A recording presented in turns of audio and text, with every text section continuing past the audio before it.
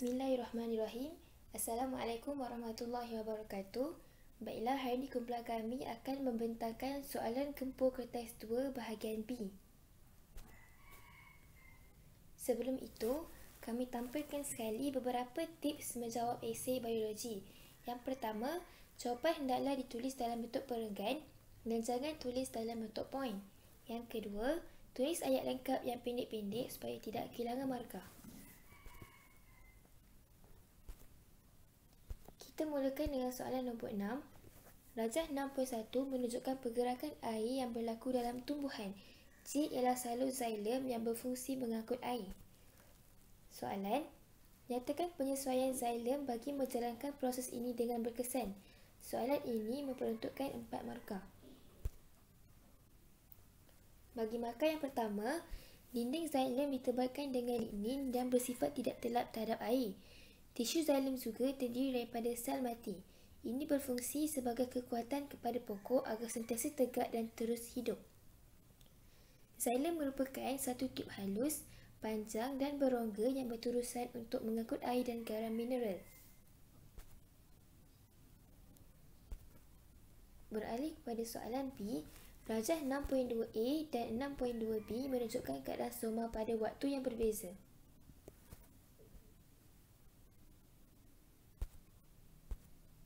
Soalan, terangkan perbezaan keadaan stoma pada setiap rajah.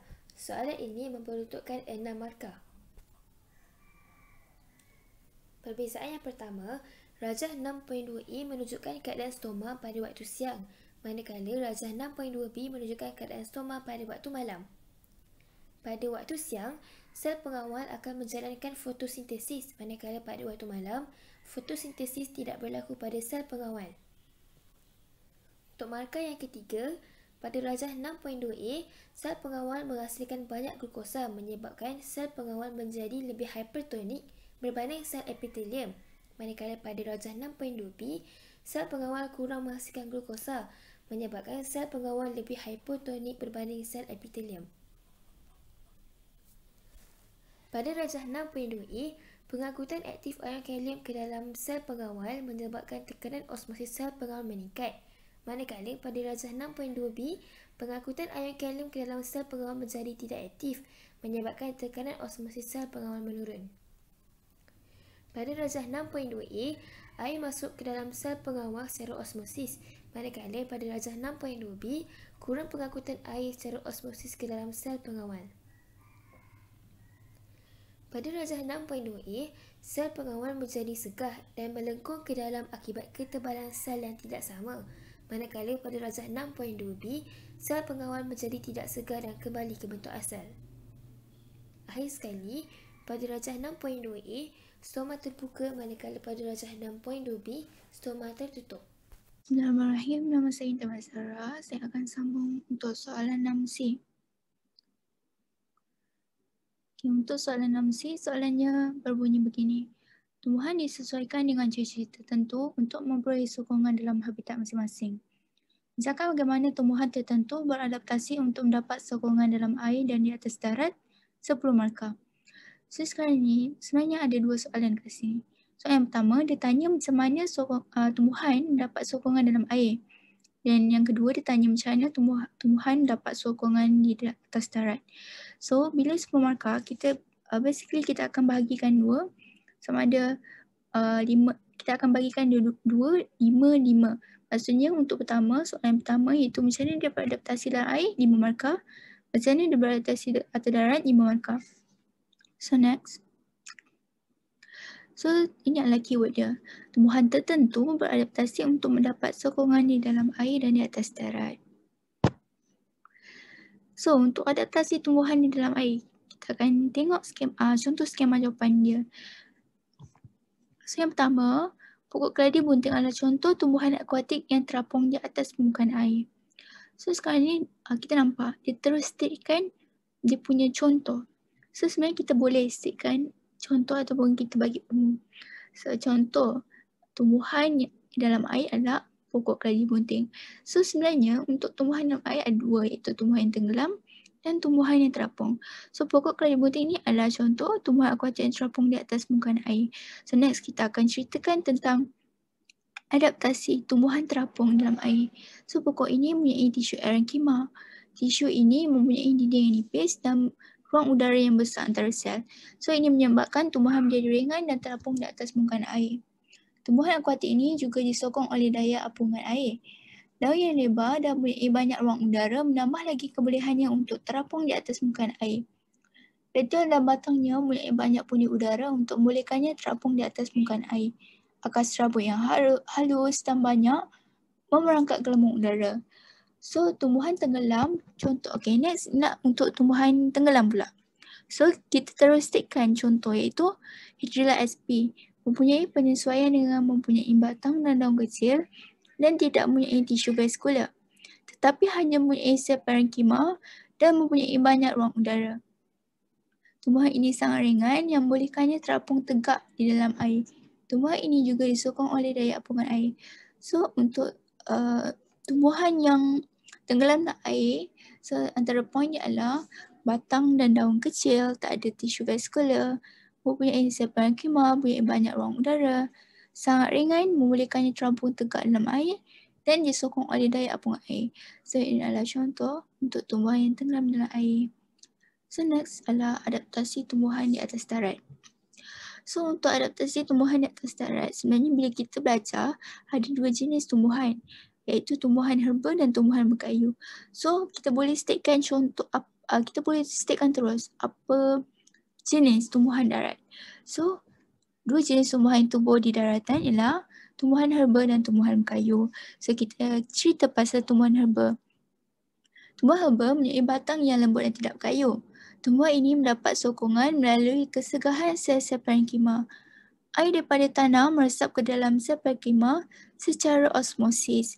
So, sebenarnya bila kita buat esay, kita kena ingat dia punya term-term biologi iaitu air meresap ke dalam sel parenkima melalui osmosis. Osmosis. So, biasa orang lupa yang tu. So, sel menjadi segar dan memberi sokongan kepada tumbuhan. Selanjutnya adalah tumbuhan berkayu. So, tumbuhan berkayu adalah pokok yang bersel besar dan pokok renek dengan batang berkayu. Tumbuhan ini memerlukan sokongan mekanikal yang kuat. Tumbuhan berkayu mempunyai banyak tisu berkayu seperti vessel, xylem dan trachea yang memberi sokongan kepada tumbuhan. Ini versi xylem trakit tebalkan dengan lignin untuk menyediakan sokongan yang kuat kepada tumbuhan berkayu yang besar. So, ini adalah antara poin-poin untuk adaptasi tumbuhan di atas darat. So, uh, aku akan pilih, saya akan pilih lima ataupun lebih sama ada enam atau tujuh poin daripada adaptasi tumbuhan di dalam air dan lima atau tujuh, lima ataupun enam ataupun tujuh poin untuk adaptasi tumbuhan di atas darat untuk uh, membentuk se eh, untuk membentuk jawapan saya. So ini adalah contoh jawapan saya. Daripada soalan 6C tu saya uh, membahagikan saya melakukan dua perenggan. Saya membuat dua perenggan untuk soalan ni sebab saya ingin membahagikan untuk tumbuhan yang uh, hidup dalam air dan tumbuhan yang hidup di darat. So sekarang uh, adalah untuk membantu penanda tersebut dan memudahkannya untuk penanda. So maksudnya lagi senanglah untuk dia baca poin-poin. So saya akan bacakan jawapan. Pokok keladi bunting merupakan antara contoh tumbuhan akuatik yang terapung di permukaan air. Pokok ini perlu beradaptasi bagi hidup di air. Antara adaptasinya ialah mempunyai tisu arankima.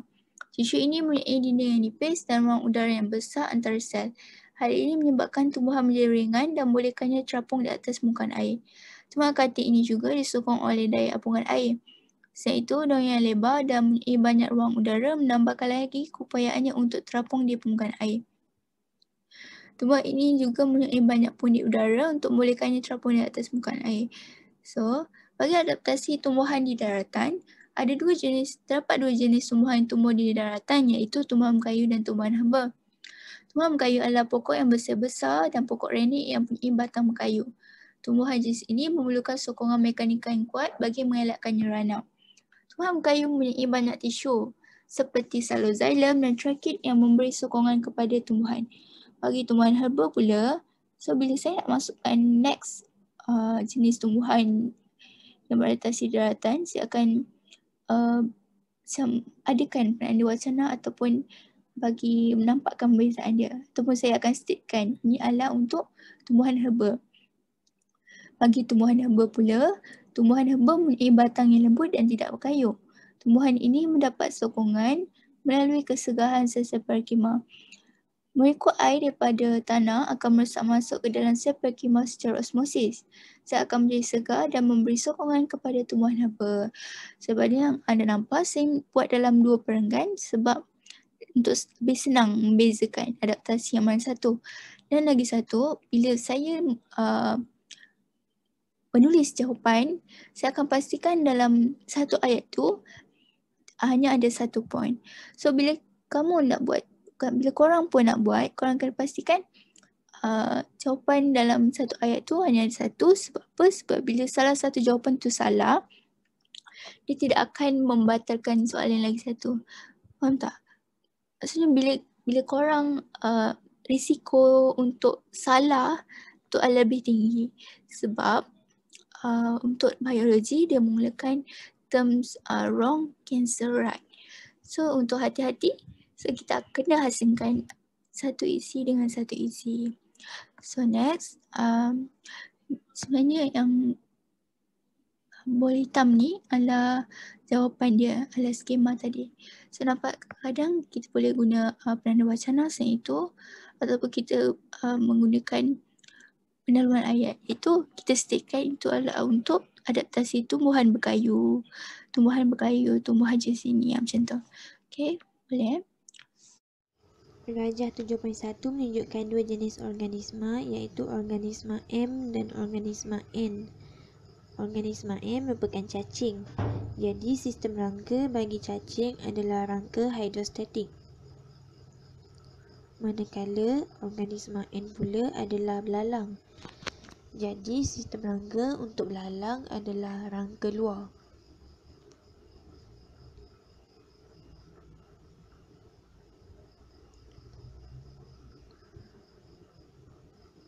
Untuk soalan pertama, berdasarkan rajah 7.1, namakan dan terangkan ciri-ciri sistem rangka untuk organisma N dan organisma M. Pertama sekali, organisma M merupakan seekor cacing manakala organisma N merupakan seekor belalang. Oleh itu, cacing mempunyai sistem rangka hidrostatik manakala belalang mempunyai sistem rangka luar. Sistem rangka bagi cacing juga terdiri daripada badan bersegmen manakala Belalang mempunyai sistem rangka yang terdiri daripada tiga pasang kaki. Cacing juga mempunyai kereta pada segmen badannya yang berfungsi untuk mencengkam tanah. Akhir sekali, cacing mempunyai bendali badan manakala belalang mempunyai rangka luar yang berkitin.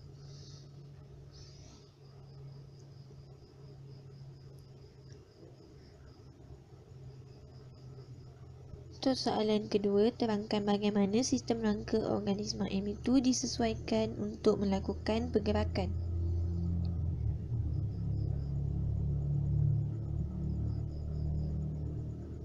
Firstly, organisma M mempunyai sistem rangka hidrostatik. Selain itu, organisma M juga mempunyai otot lingkar dan otot membujur yang bersifat antagonis.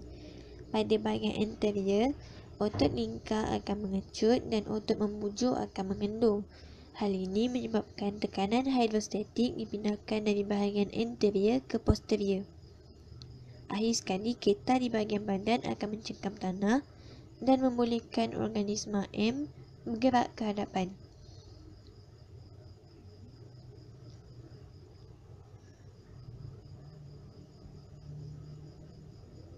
Soalan B, Rajah 7.2b dan 7.2a menunjukkan dua jenis penyakit sistem rangka pada manusia. Untuk rajah 7.2a menunjukkan penyakit arthritis rheumatoid. Penyakit ini adalah sejenis penyakit arthritis yang melibatkan kemerosotan atau radang pada sendi. Untuk rajah 7.2b pula menunjukkan penyakit osteoporosis. Penyakit ini adalah sejenis penyakit tulang di mana tulang menjadi poros. Berdasarkan rajah 7.2a dan 7.2b di atas, terangkan ciri-ciri kedua-dua penyakit tersebut. Jadi untuk tujuh, untuk bahagian 7.2b ianya menunjukkan penyakit osteoporosis. Jadi ciri-cirinya adalah tulang menjadi poros, menyebabkan tulang mudah patah. Kebanyakannya berlaku pada warga emas, terutama wanita yang sudah putus haid. Osteoporosis juga dapat dielakkan atau dilambatkan dengan mengamalkan pengambilan makanan yang kaya dengan kalsium seperti susu serta melakukan senaman yang memerlukan seseorang mengatasi daya graviti. Contohnya melompat dan berlari. Untuk rajah 7.2a, ianya menunjukkan penyakit arthritis rheumatoid. Ciri-cirinya adalah keradangan pada sendi, menyebabkan rasa sakit, boleh terjadi kepada sesiapa sahaja tanpa mengira umur, serta arthritis rheumatoid ini Pesakitnya hanya dapat melegakan kesakitan dengan mengambil ubat pelani atau menggunakan cara tuam air panas. Berikut merupakan jawapan soalan nombor tujuh yang telah ditulis dalam bentuk esei.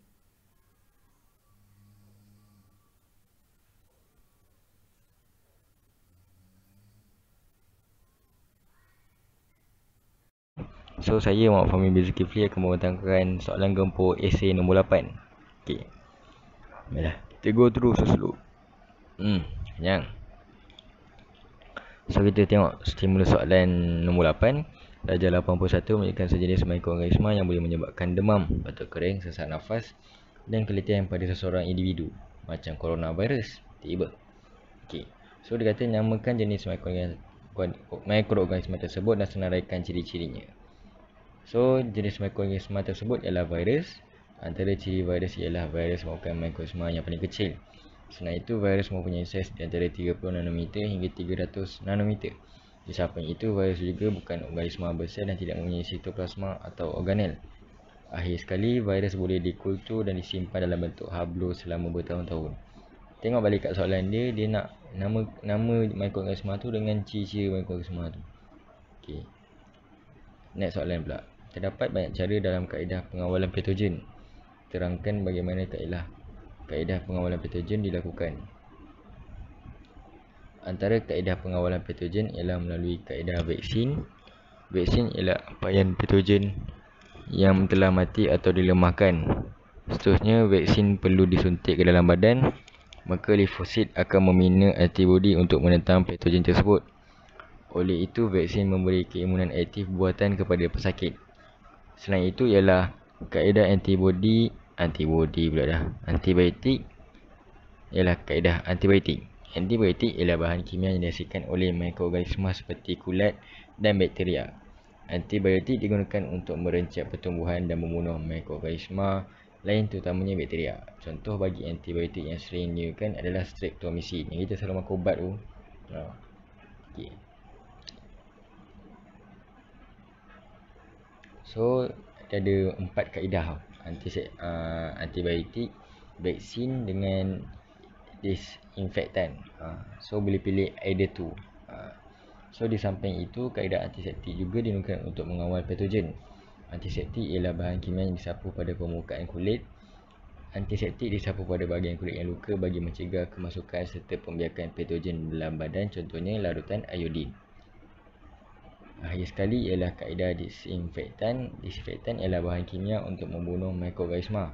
Disinfektan digunakan untuk mensteril barangan seperti hospital, peralatan lantai, longkang dan tandas bahan ini boleh mem Bahan ini juga boleh memusnahkan sel dan tisu. Contohnya formalin dan klorin.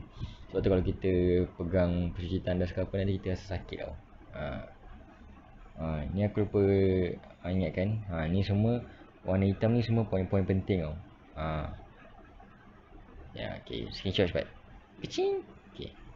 Okey, screenshot cepat. Kecing, kecing.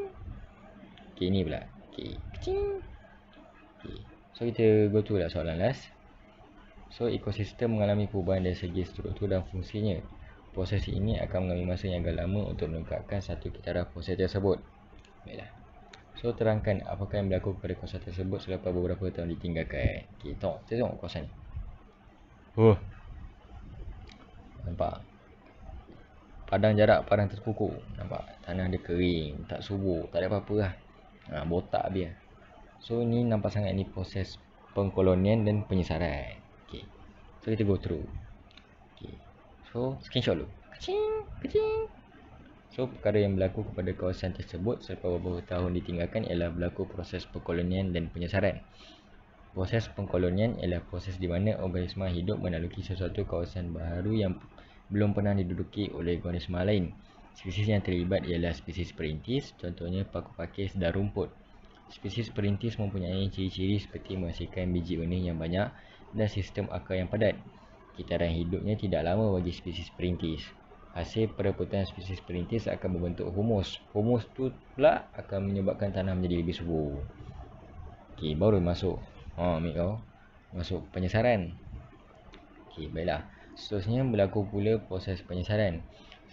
Spesies perintis menyesuaikan persekitaran bagi spesies penyesar. Maka spesies penyesar semakin bertambah dan menggantikan spesies perintis.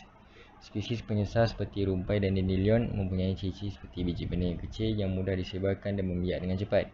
Spesies penyesar mengubah soil tanah supaya lebih sesuai untuk pertumbuhan spesies tumbuhan yang lebih besar. So proses sasaran akan terus berlaku dan berlaku dan berlaku. Seterusnya tumbuhan herba iaitu spesies uh, tumbuhan yang lebih besar tadi tu akan eh spesies penyesal tadi tu dia akan digantikan dengan tumbuhan renek. Kemudian tumbuhan renek pula akan menjadi spesies dominan kan. Sebab tumbuhan renek tu dia tumbuh dengan lebih cepat berbanding uh, tumbuhan herba. Jadi selepas itu pokok renek akan menyelesaikan persekitaran dari bagi pokok besar. Oleh itu pokok hutan, pokok hutan yang besar akan menghalang cahaya matahari daripada sampai kepada pokok renek dan semak belukar. Benda ni menyebabkan pokok renek ni dia akan digantikan oleh spesies tumbuhan di lantai hutan yang kurang memerlukan cahaya matahari. Akhirnya komuniti climax pun tercapai. Hasil dari proses perkolonian dan penyesaran tadi lah. Komuniti climax terdiri daripada pokok-pokok yang besar-besar dan tinggi. Contoh komuniti climax ialah hutan hujan tropika. Okay, so screenshot dia. Kecing kecing. Ha. So tengoklah benda-benda yang warna hitam ni sebab dia key point yang penting lah, maklumat penting. Ha, jangan tinggal benda tu eh.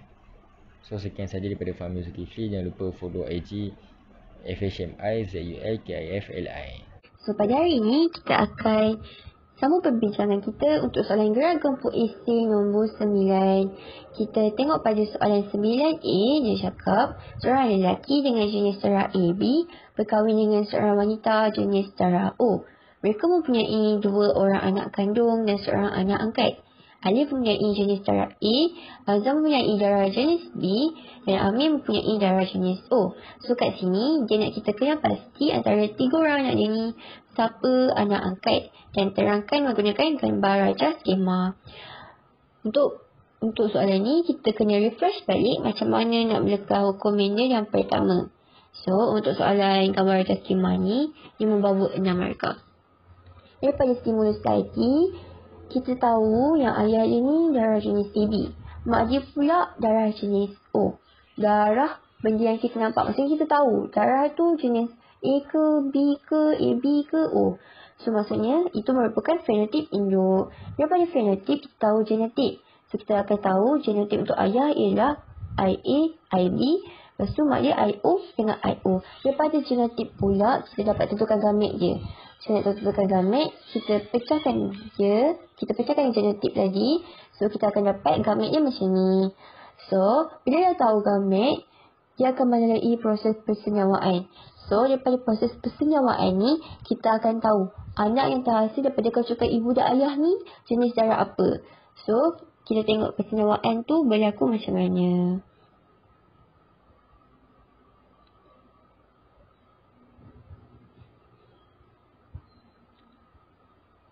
So, apa yang kita nampak sekarang ini ialah genotip anak.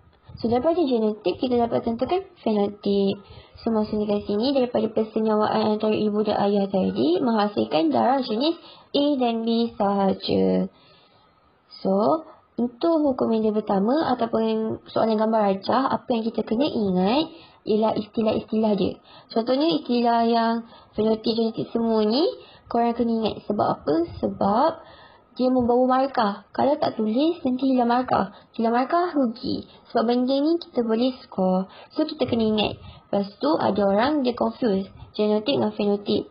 So, fenotip ni benda fizikal, benda yang kita nampak. Contohnya, uh, untuk soalan ni, darah jenis apa. Kalau soalan untuk buta warna pula, kita tahu dia ni pembawa ke, pesakit ke, normal. Kalau soalan untuk kacukan bunga contohnya, so kita tahu dia tu, bunga tu warna apa, warna kuning ke, warna hijau ke. Okay, itu untuk fenotip. Genetik tu gen benda yang gen lah. Okey, sekarang ni berbalik pada soalan dia tanya antara tiga orang anak ni, siapa anak angkat? Dia dah tahu anak angkat tu Amin. Macam nak terang? So, untuk dapatkan markah untuk penyerangan, first kita kena jawab soalan dia. Dia tanya, siapa anak angkat? So, jawab. Amin ialah anak angkat. Okey, itu second point kita terangkan. Kenapa kita cakap Amin tu anak angkat? Sebab daripada gambar raja skema tadi kita tahu kacukan tidak menghasilkan genetik OO. Bila genetik tahu fenotip. So fenotip dia ialah darah jenis O. So maksudnya tiada anak darah jenis O dihasilkan.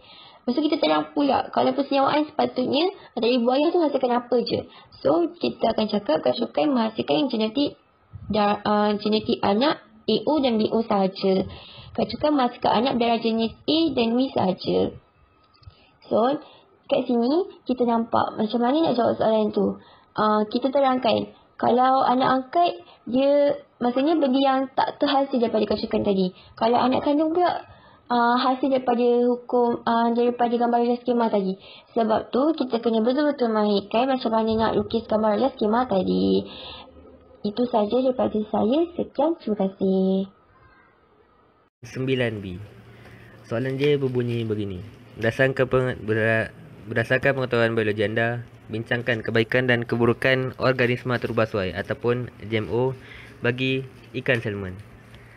Okay, first kali GMO ni apa? GMO ni dia ialah satu kejuruteraan genetik yang orang zaman sekarang guna uh, untuk makanan dan juga tumbuhan. Okay, first kali. Kebaikan GMO. Kebaikan GMO ni ialah ciri yang diingini dapat diperoleh. Sebab apa? Sebab uh, GMO ni kan kita sendiri yang masukkan sesuatu gen kepada dalam haiwan tersebut. Okay, selain itu, GMO ni juga dapat membantu organisma meningkatkan ketahanan seperti terhadap persekitaran dan suhu. Okay, seterusnya, GMO ni dapat menambah rasa, rupa dan meningkatkan nilai nutrisi makanan. Ha, maksudnya kalau makanan manusia makan ikan ni dia akan jadi lebih sihat. Ha. Okay, seterusnya GMO juga dapat meningkatkan jisim dan saiz ikan salmon. Maksudnya kalau awal-awal uh, ikan salmon ni kecil tapi dengan adanya GMO ni ikan akan jadi lebih besar dan lebih berat. Uh, selain itu GMO juga dapat menampung keperluan harian manusia dan mengurangkan kadar kebeluran. Maksudnya kalau lagi banyak ikan salmon ni lagi banyak uh, manusia dapat makan. Jadi kadar pengangguran dan kebuluran manusia pun akan berkurang.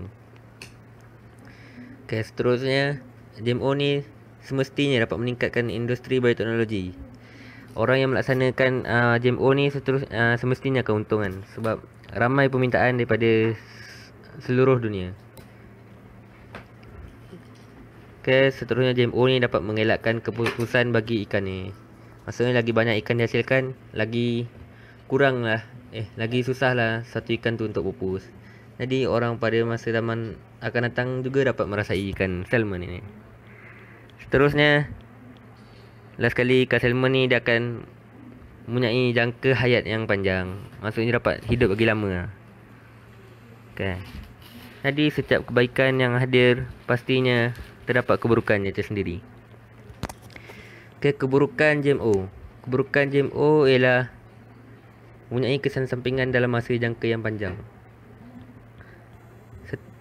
Ke sebab apa dia ada kesan sampingan dalam masa jangka panjang? Sebab apa? Sebab dia ambil masa yang lama tau untuk menunjukkan dia punya kesan tu. Contoh dia ambil masa berbulan-bulan atau bertahun-tahun untuk menunjukkan kesan sampingan dia. Ha.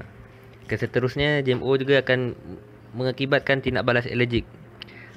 Hal ini kerana sebab apa dapat menyebabkan alergik? Sebab mungkin gen yang dimasukkan ke dalam sesuatu gen asal dalam uh, kromosom ikan tersebut. Uh, jadi kalau mungkin orang yang makan ikan ni dia awal rasa makanan ni selamat ah. Tapi sebenarnya lama-lama dia akan menunjukkan sifat dia yang bahaya. Mungkin kita akan terkena allergic. Badan-badan kita mungkin akan naik-naik gatal atau ruam tersebut. Ha.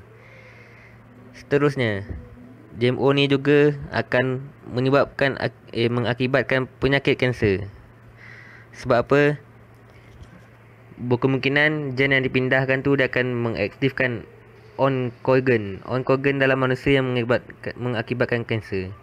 Oncogen ni ialah satu satu jenis gen yang dapat kalau dapat dihidupkan dia akan dapat menyebabkan sel kanser dapat diaktifkan uh, dan menyak dan boleh mengakibatkan sel kanser risiko penyakit kanser. Okey, keburukan yang terakhir ialah GMO ni dapat menyebabkan kebimbangan terhadap alam sekitar dan menyebabkan mutasi gen kepada manusia. Mutasi gen ni ialah satu uh, mutasi yang berlaku terhadap gen-gen dalam badan kita. Contoh-contoh penyakit mutasi gen ialah seperti macam kita tahu kan, thalassemia, albino, anemia sel sabit, uh, semua tu lah. Okay. Jadi sebelum saya habis saya nak ingatkan uh, kembali kalau nak buat soalan esei ni dia kalau lagi bagus kita buat ayat-ayat pendek. Untuk setiap point tu satu ayat. Ha, lepas tu titik. Lepas tu uh, lagi baik kalau kita buat pemerengganan. Contoh kalau kebaikan satu perenggan, keburukan satu perenggan. Ha macam tu. Dia lagi akan memudahkan pemeriksa untuk menanda kata kita.